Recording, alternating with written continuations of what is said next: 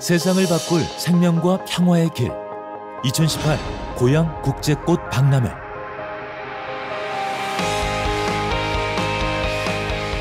(4월 27일) 역사적인 남북 정상회담과 함께 시작된 고향 국제꽃 박람회는 생명과 평화의 축제로 펼쳐졌다.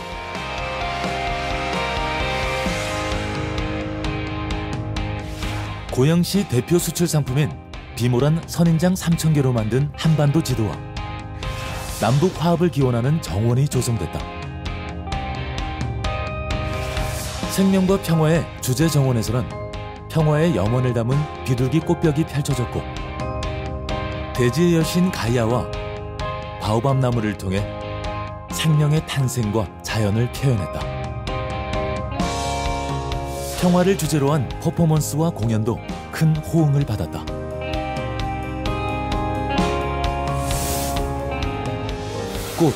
예술로 피어나다. 세계 최정상 화해 작가 7명이 함께한 플라워 모먼츠. 각국의 국가대표 작가가 꽃을 통한 예술적 가치를 선보이며 꽃 박람회의 품격을 높였다는 평가를 받았다. 신예 작가 발굴과 꽃문화 예술 증진을 위한 다양한 대회와 세미나도 개최되었다. 야외 테마 정원과 플라워 포토존도 호수공원의 자연과 어우러져 더욱 아름답게 빛났다. 고향의 역사와 미래를 담은 고향 하늘 꽃바람 정원.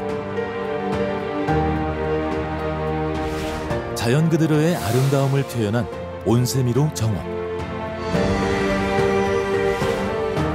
동화 속 주인공들로 꾸며진 컬러풀 플라워랜드. 사랑을 테마로 한 수변 포토존 등이 꾸며졌다. 실내 전시관에서는 태극 장미, 레인보우 수국, 대형 알리움 등 화려하고 신비한 이색 식물 전시, 쉽게 접하기 힘든 국내외 우수 화해 전시로 관람객들의 시선을 사로잡았다.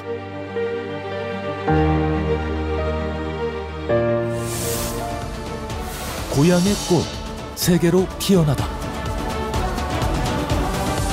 1997년에 시작해 올해로 12회를 맞은 꽃 박람회는 세계가 주목하는 국제 박람회로서의 위상을 굳건히 했다. 역대 최다인 36개국 332개 업체가 참가하여 이옥송이의 다양한 꽃과 세계 화해 산업의 트렌드를 보여주었다. 세계 화해 시장의 침체와 어려운 환경 속에서도 2,710만 달러의 화훼 수출 계약을 체결하며 화해 무역 박람회로서의 역할을 톡톡히 했다. 아시아 화훼 박람회 개최기구 연합의 참여도 의미 있다. 대만, 네팔 등 12개국 정부 및 꽃박람회 개최 기관이 한자리에 모여 네트워크를 강화하고 세계 화훼 산업 발전을 위한 초석을 다졌다.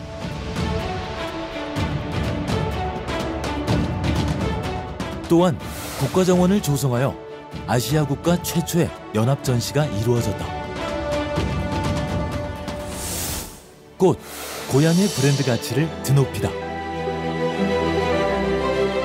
꽃 박람회를 다녀간 총 관람객 50만여 명. 세계 각국의 관람객들이 찾으며 고양시가 국제적인 관광도시로 거듭나고 있음을 보여줬다.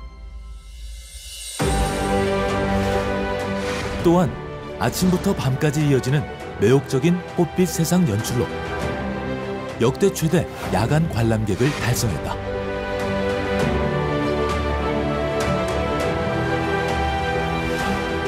고향의 100여 개 화훼 농가가 직접 참여한 고향 우수 화훼 전시관, 고향 화훼 특판장도 큰 호응을 얻었다.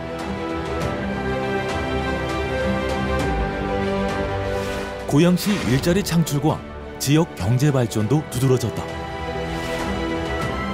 경제적 효과 총 1,545억 원. 취업 유발 효과 2,700여 명으로 분석됐다. 화훼 농가, 자원봉사자, 고양시민 운영 요원, 유관기관 등 행사 관계자 2만여 명이 최선을 다해 종합예술을 완성하였다.